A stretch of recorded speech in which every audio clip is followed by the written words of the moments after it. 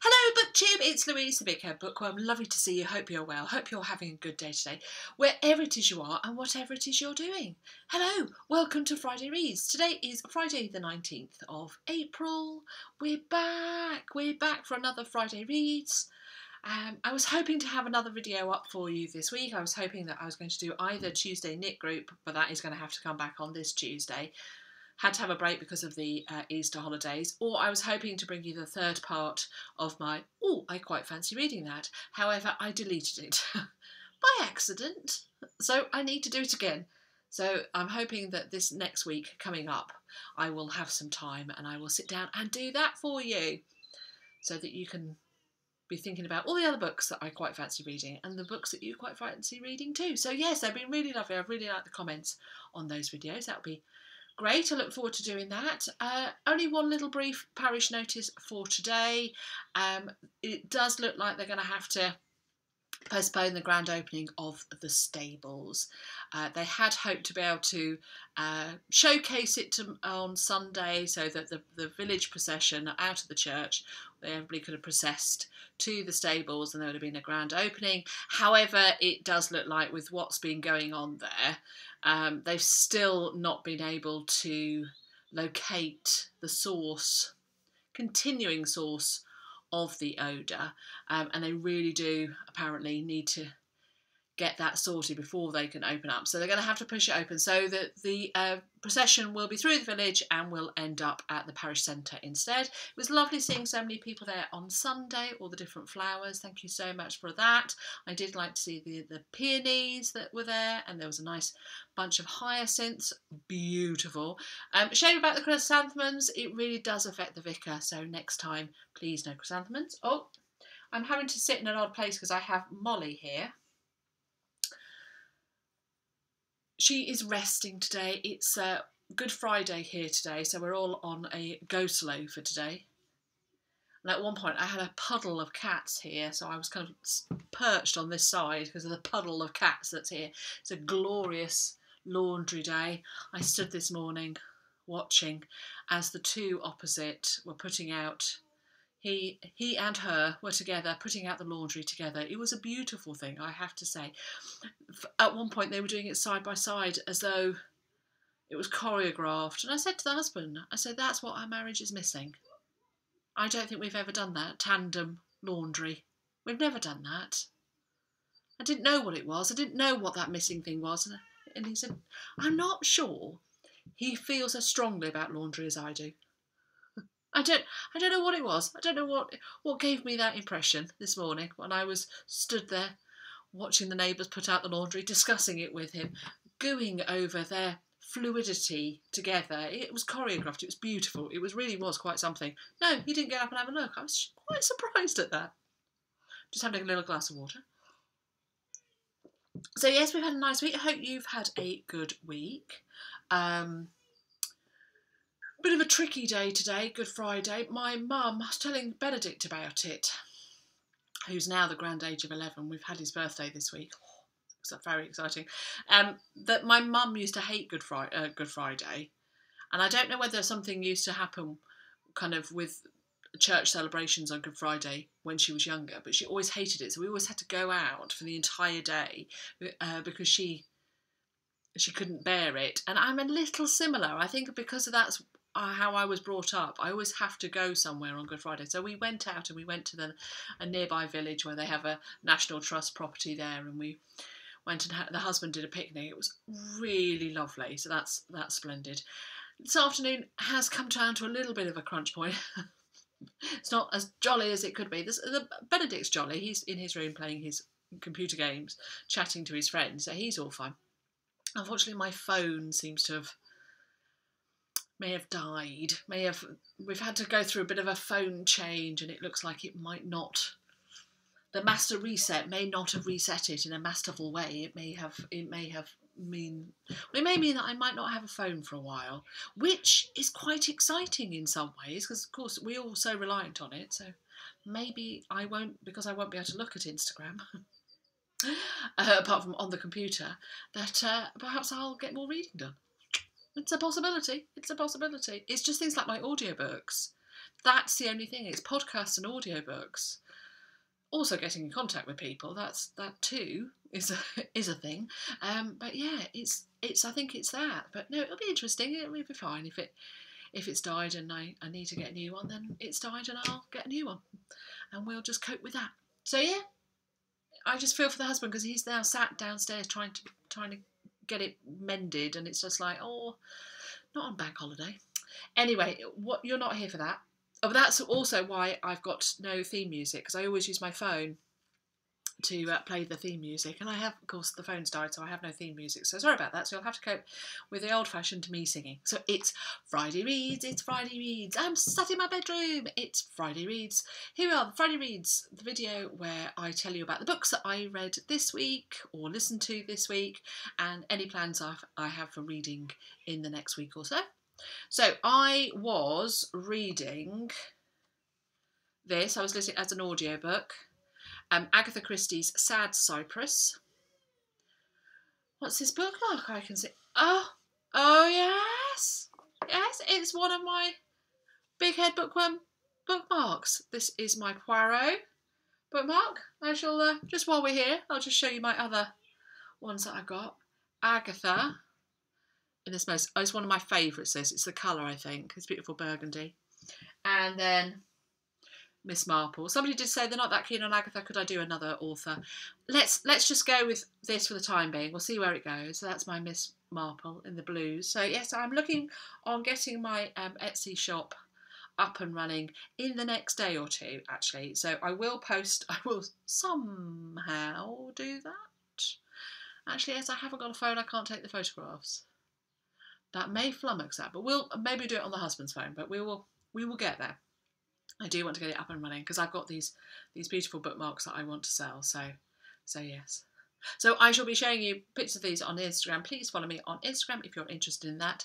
I am louise.stinson, so I shall leave that in the details below. But let's go back to the books. So yes, I was actually using my Poirot because it is a Poirot Poirot bookmark with in my book. So this is Sad Cypress. Somebody did say so it'd be really good if you actually mentioned what the uh, books were about. I gave a bit of a synopsis. I was like, I laughed and I laughed. I was like, oh bless. Yes, remember the days I used to tell you what the books were about. No, I guess it did make me think. I don't quite. I don't often do long synopses of the books that I've either interested in or the one that I read because I don't tend to really study the back of books. I tend to get a vague suggestion what it's about, um, and then I go and I don't listen to detailed descriptions of other books. So if there are other booktubers that go into the plots or give you long ideas, I don't want to know. I'm very much like, for example, I've read a thriller this week, so all I knew it was was a thriller.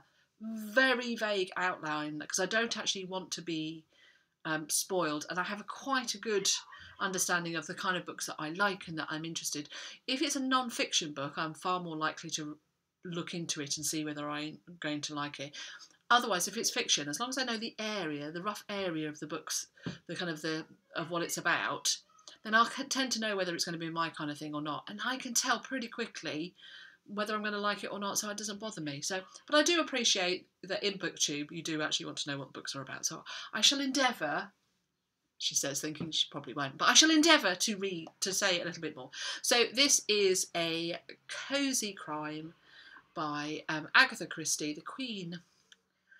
The Queen of Crime herself. It features her Belgian detective Hercule Poirot.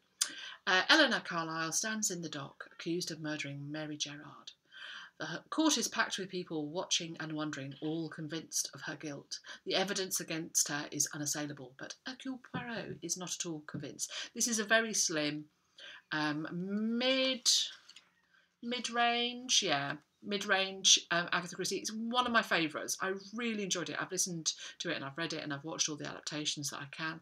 Um, I think I like it because Elinor Carlisle is quite a cool character, and whenever I see it played, they always play her cool, and I quite I find her quite fascinating because of that. So I finished listening to my Agatha Christie. I should put you up there, um, and then I uh, fancied a bit of change of pace in what I was reading, And I don't know if I'd started this last time. I don't think I had, but it was the, it's The Woman in the Window by A.J. Finn.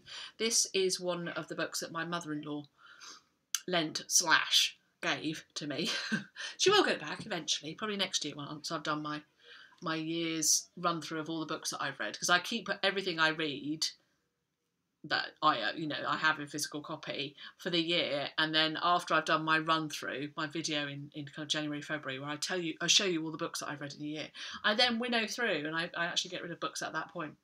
Excuse me sparkling water so this is The Woman in the Window by AJ Finn it is a thriller um, uh, think Rear Window Alfred Hitchcock. There is so many allusions to black and white movies in this, and it is somebody with agoraphobia sees something happening set in New York, modern day, set in the now, and it unfolds from there. So that's all all you need to know to, to go into it. Um, there are comparisons with The Girl on the Train and the film Rear Window by Alfred Hitchcock. It is that kind of very much the Alfred Hitchcock one, as I said, there's lots and lots of um, references to it. So there's two lots two lots of things I would say about this. The first one is that there is some controversy about the author AJ Finn, who is a gentleman, and I think it's quite interesting that they chose to call him AJ Finn because quite often, if it's a male thriller writer, he'll have his name. But if it's a female uh, thriller writer or writer full stop, they will sometimes use the initials so that men don't feel put off by picking up a thriller or a book written by a woman. So I think it's quite interesting that there has been a slight shift in the trends of these kind of runaway successes, like The Girl on the Train, where they who are female written by females. So they're kind of I feel as though HarperCollins are kind of nodding towards that. So I thought that was quite interesting. The other thing about him is there has been some controversy about how he's misspoke, I think. I don't know all the ins and outs, but it seems that he has given interviews and spoken in the press about how he is a cancer survivor and that people in his family have died from cancer and he's been affected by cancer or an, at least a, a, kind of terminal illness survivor.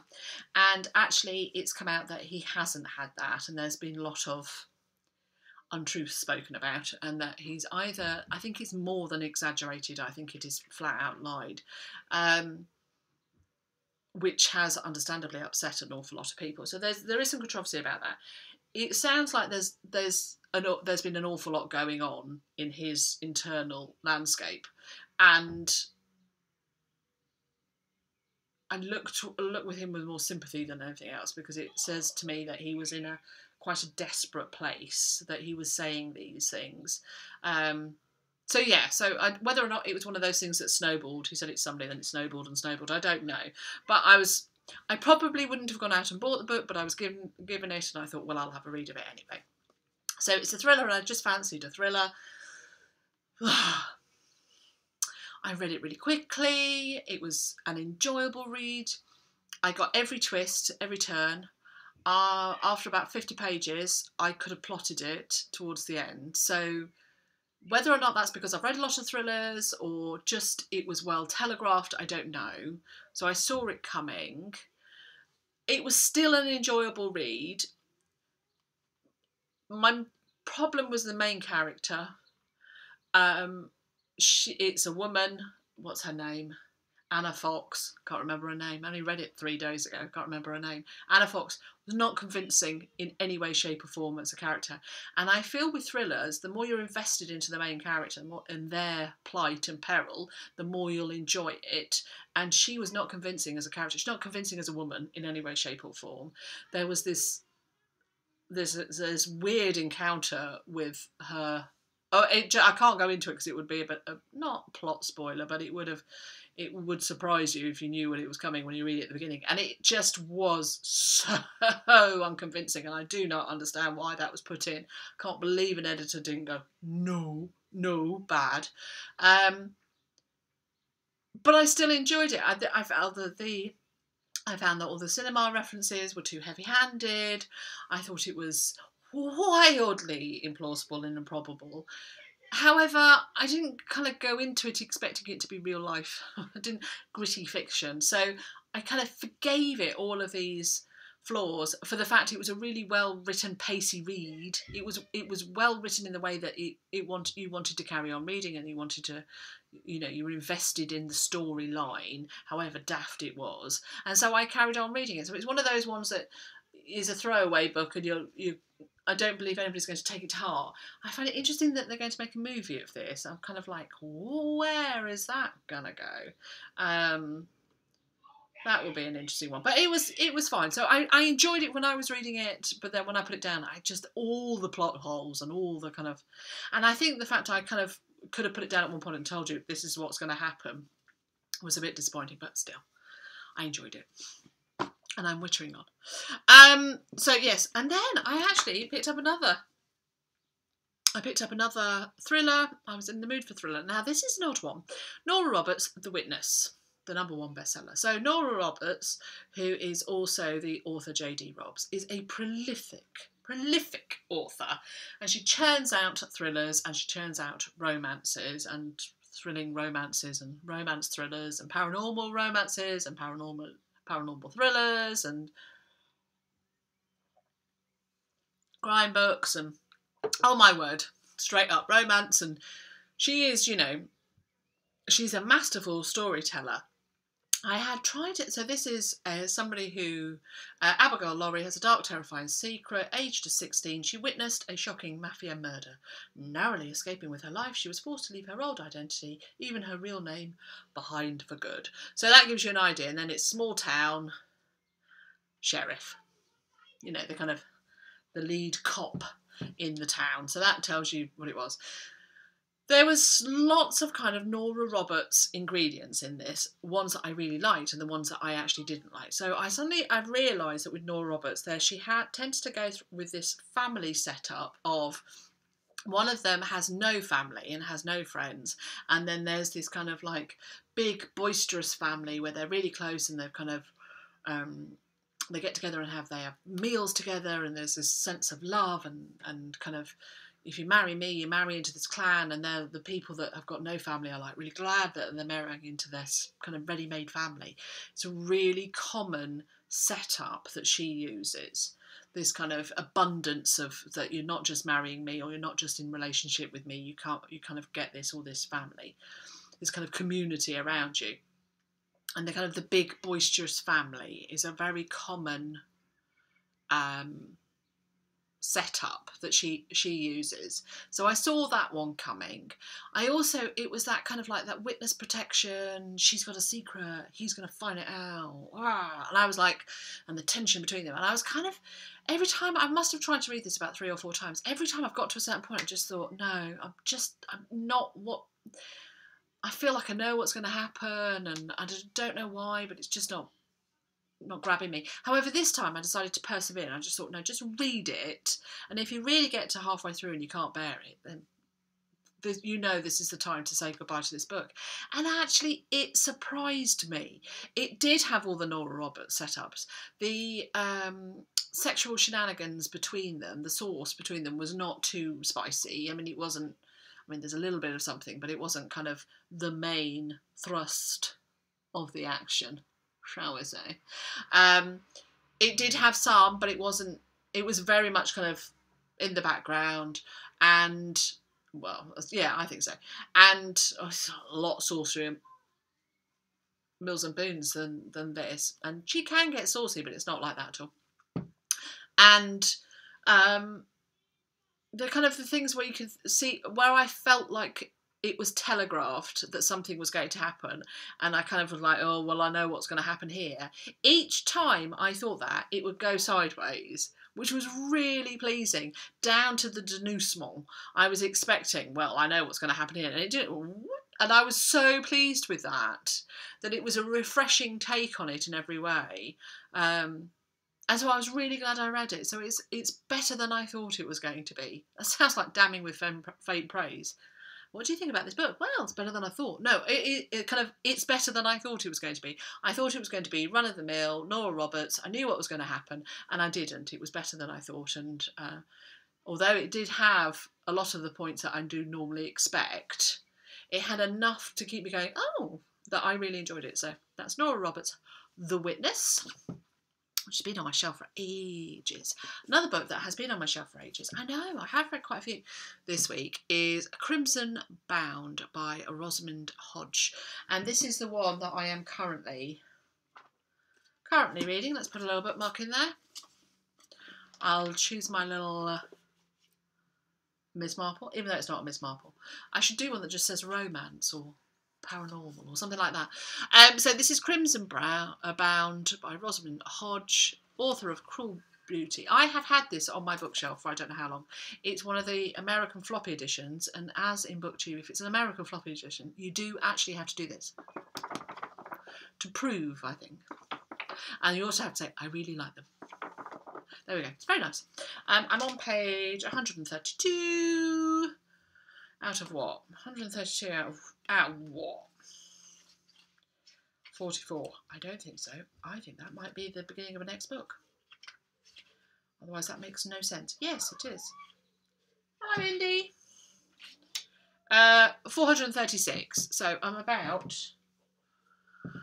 uh, nearly 30%. Nearly 30% in. So, yes, that is. So it is uh, inspired by the classic fairy tale Little Red Riding Hood, Crimson Bound is an exhilarating tale of darkness, love, and redemption. I don't think I've ever read anything based on Little Red Riding Hood. I haven't knowingly read anything. I have read Little Red Riding Hood. I've actually read the Grimm's Tales. I think that some of them are based on it, and it actually it isn't. It's a bit of a dark one. That one. Um, good old grandmother getting eaten and what have you. So it is. It has got that about it. It's very much fantasy, a fantasy retelling. It's got nothing set in this reality whatsoever. So there's a lot to begin with. There's a lot of she's bloodbound and he's forest born, and and I I spent a good fifty pages going, oh, what, who's what, you know, here's there, here's there, and everywhere. I was like, what? Hmm. But actually, now I've kind of left that wash over me, and I've we've got into more the the kind of the the meat of the the tale. I'm enjoying it more. Um, I can't actually see where this is going.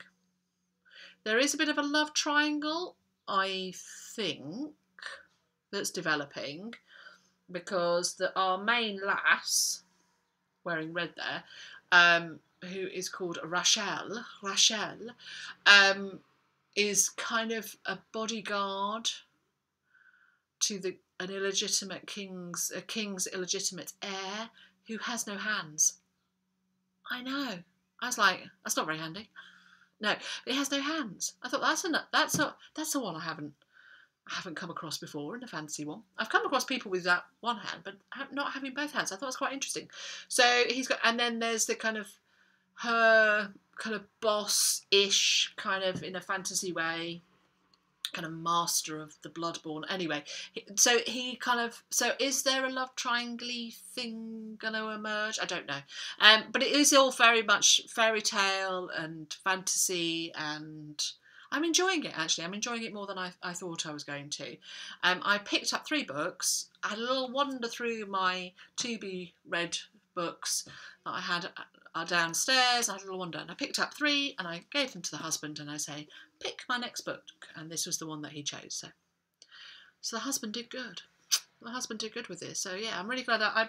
I mean, obviously, I, it was in my my thoughts to read it. Um, otherwise, I wouldn't have picked it up. But but yeah, no, it's good. I mean, I'm enjoying it. So yeah, that was it. So I finished three books this week. And I'm well on the way to well, about a third of the way through that, and I shall finish that in the next day or two, probably quicker if I haven't got my phone. Let's be honest. If I haven't got my phone to distract me, it's going to be a lot more reading.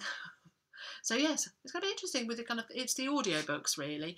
I'm sure I can download them onto my laptop, but yeah, it'll be fun. One way or another, we will sort it out, and I will, I will do that. So hopefully, in the next couple of days, I will be able to say on Instagram that the um, my Etsy shop will be open for bookmarks. Should you care to buy one? And yeah, that's what we've got planned. We haven't got anything major this this weekend. I'm just going to enjoy the nice weather, I think, and I hope you are too. This has been lovely booktube, and I look forward to doing it again.